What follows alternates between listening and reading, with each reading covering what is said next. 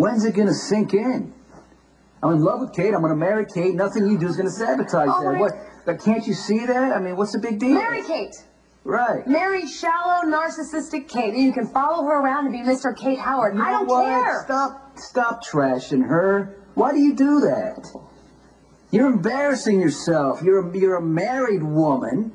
Why do you keep attacking the woman I love? I'm so glad you love Kate because she's all you got.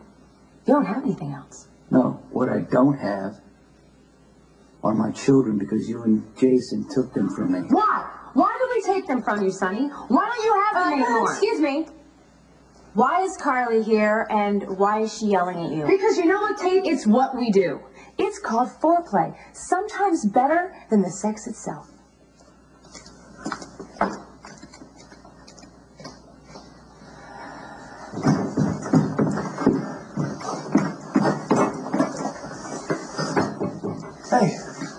Mercedes? In the kitchen making lunch. Really? How was your karate class? Great. You want to show me some moves? Okay. Okay. Yeah. Yeah. Yeah.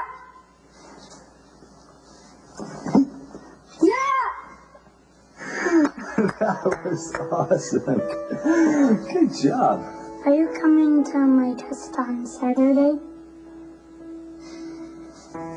I wouldn't miss it for the world.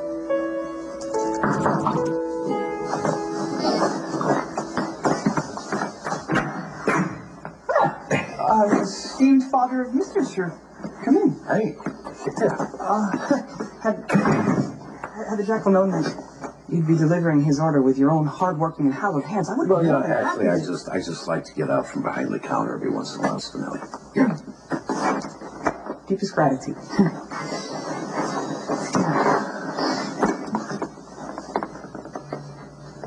Um, if you seem father would like to join the jackal in his repast, I, you know, I, would I'd, I'd be more than happy to share. Although I fear a single grilled cheese sandwich with fries and a side salad sans tomatoes might not go too well. well uh, look, actually, uh, I was hoping we could talk about the situation between Sonny and Jason. Uh, the, the, the jackal's not privy to the, the details of the agreement severing the former business partnership of Stone Cold and Mr. Sir. Perhaps Perhaps the breast lady of justice is your lady. I'm, I'm not asking for privileged information here. I, I, think that the best decision Sonny ever made was getting out of the mob and turning the reins over to Jason. What I'm worried about is that he won't be able to let go. And I'm wondering if he's been showing up at the office, you know, offering advice, that kind of thing. Uh, um, Father is attempting to gauge whether Mr. Sir will resume the mantle of power, as it were. Yeah, well, you know, I wouldn't put it quite so colorfully, but yes. Um, well, Mr. Sir has stopped by what is now Stone Cold's office on a number of occasions. Some, in the jackal senses, it did not end in brotherly accord. You know, uh, if the jackal may offer a hypothesis, it seems Mr. Sir is angry at Stone Cold for taking over when it was Mr. Sir himself who wished to renounce the business in the first place. Yeah. Well, that's how addiction works, Spinelli. I mean, even though something is bad for you, I mean, even to the point of ruining your life, doesn't mean you want it any less. In fact, you want it more. And there are no 12 step programs for mob bosses who decide to, to give up their territory. Most troubling oversight by those of the rehab persuasion. So I'm hoping that, that this marriage to Kate will be enough to sustain Sonny to... Has the esteemed father visited any online gossip sites of late? the whole why? Well, uh, depending on Mr. Sir's tolerance for compromising photographs and the fashionista's capacity to explain away apparent infidelity... Hey, hey whoa, whoa, whoa, whoa. Hmm. Are you saying that Kate was unfaithful? that matter, is open to interpretation. Well, okay, oh, okay, okay. Interpret for me. Um, the fiancée of Mr. Sir was photographed on her knees in the back of a limo with her face in close proximity to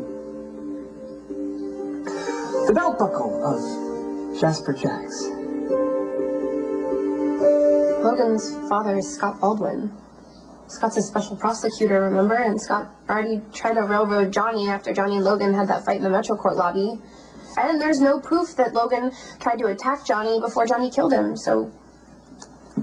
I mean, Scott would probably charge him with murder. You thought of everything.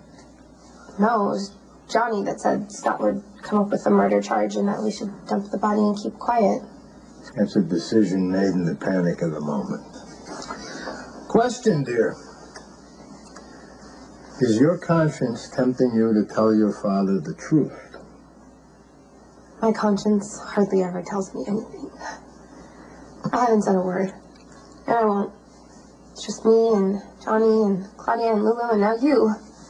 And this guy, but he seems like the quiet type. Somehow I, uh, Lulu doesn't strike me as being the pragmatist you are. Lulu loves your son. I'm sorry, but she does. She'll do anything to protect Johnny. Actually, I wouldn't mind if that were true. Because if I ever believed that you and Lulu had betrayed my son, I would hate to see something happen to you two pretty kitties, but make no mistake. I will kill you and Lulu both. Go away now.